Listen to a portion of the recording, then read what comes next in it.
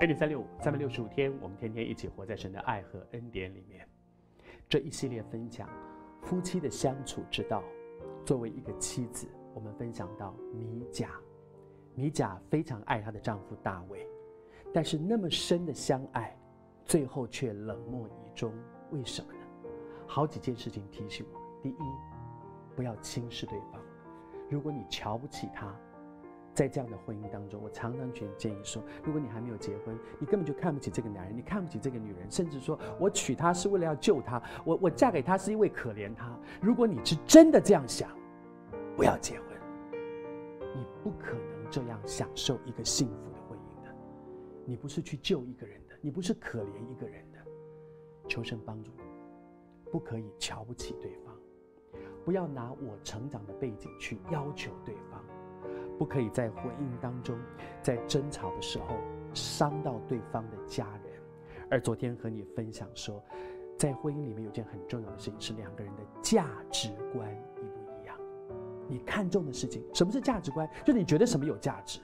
对大卫而言，上帝喜悦我是最有价值的事。米甲看重的是，作为一个国王，百姓支持你是非常重要的事。两件事情都重要，但是各有不同的。看重的时候，造成他们中间很深的对立。所以谈恋爱谈什么？谈价值观。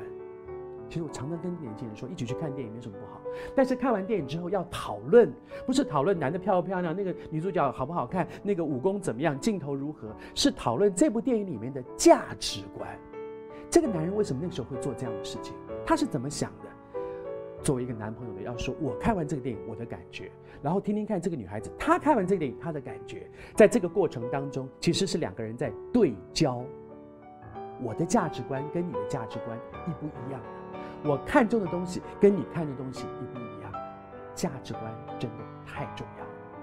而接下来还有一个重要的关键，就是夫妻如果长期活在冲突、磨、瞧不起。最后就会失去了对对方的敬重。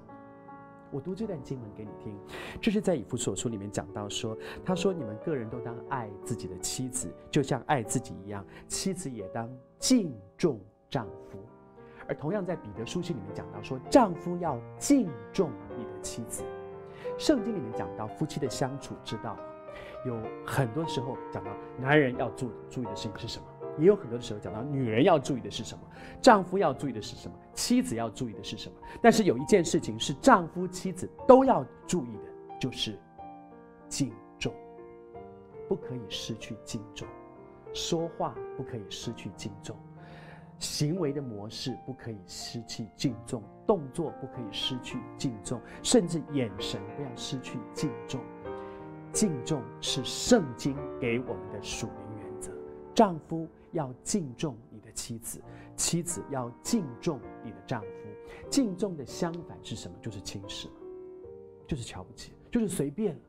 如果我很敬重这个人，我就会很严谨的说：哇哇，今天我我我我我要我要把家里整理很干净，因为因为我我非常非常欣赏的那一位那个我的那位老师要来，而我我的公司里面一个主管是我我好喜欢他的，他要来，谁要到我家，所以我会把家里弄得特别干净，我会换特别漂亮的衣服，我会招待他。为什么？因为我敬重这个人。当你敬重这个人的时候，你就会在乎；当你失去敬重的时候，就会随便。随便说话，动作随便，说话随便。求主帮助我们，永远不要说我们老夫老妻了，哎，无所谓了。基本的敬重，倒不是说每个这个回到家里面都还要化浓妆，不是这个意思，而是说生活言行举止不要失去了敬重，不要随便，随便到一个地步叫做放肆。很多的时候。婚姻当中到最后走下去，是因为放肆。求主今天提醒我们，彼此敬重。